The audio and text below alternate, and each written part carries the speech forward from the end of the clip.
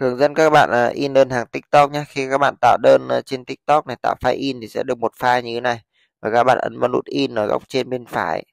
À, rồi ở đây bạn chọn máy in là máy in TP731 nhé. Và chọn à, chế độ cài đặt khác này. Các bạn chọn à, tỷ lệ in tỷ lệ mặc định này. Ở đây có các tỷ lệ khác nhau là mặc định này. À, vừa với giấy in này. Đấy, vừa với giấy in này tùy chỉnh này. Tùy chỉnh to nhỏ tùy các bạn mong muốn nhá các bạn là căn chỉnh to nhỏ à, ở đây này.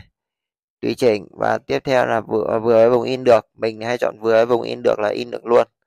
Đấy, vừa với vùng in được và các bạn chọn đúng khổ giấy là in được thôi.